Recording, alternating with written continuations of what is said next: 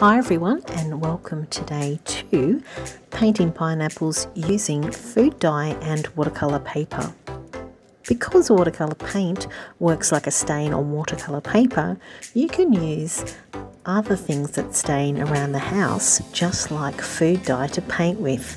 So let's get started. For this activity you will need some food dye, some water, Q-tips, some inexpensive watercolour paper and some tissues. Here are two fun faces I prepared earlier when experimenting.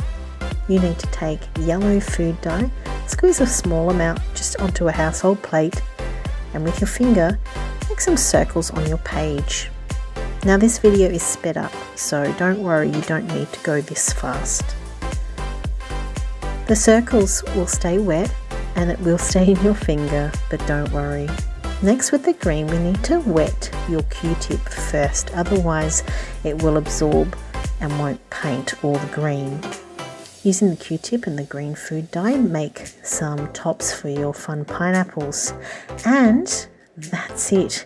Grab a hair dryer and dry your cute pineapples until they are very dry so you can use your marker. This is a black inexpensive marker and I'm just simply drawing in some cute eyes. I'm leaving a white reflection spot, some eyelashes. Next I'm adding in a winky eye. Then I'm going to add in some pink cheeks with a pink marker. Any texture you have at home will be fine. I'm starting the mouth and I want to add a sticking out tongue so back to the pink colouring it in fix up the side of the mouth and that looks pretty good to me. I'm now using a gel pen and I decided to go with a glitter purple to make a cute tropical flower.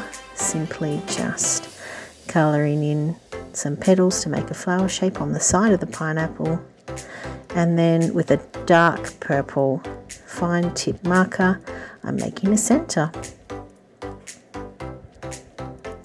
You can add any decorations on your pineapples that you like. Here I'm using a yellow gel pen and I'm making some lines to show some texture on the pineapple face. I felt this yellow came out a bit dark so I decided to use a white gel tip pen and add some, uh, added some highlights beside the yellow lines and it did really brighten the face. Now I'm using a green, light green marker and I'm adding some lines to define some of the top part of the pineapple. For the next one I've grabbed a grey lead just to make sure, because I wanted to draw sunglasses, that they were evenly spaced before I went in with the black marker.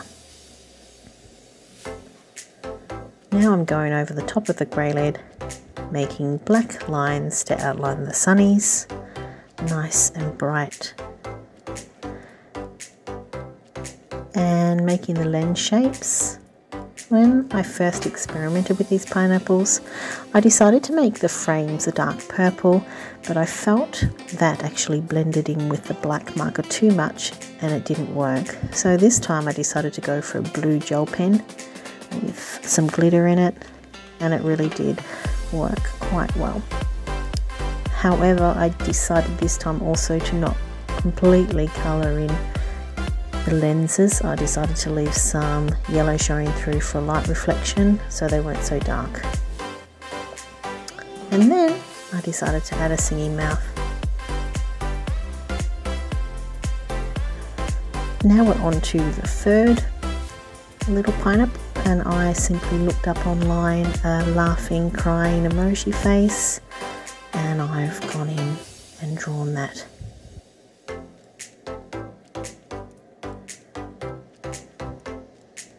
I decided to use a light blue marker for the tears and the white gel pen for the teeth.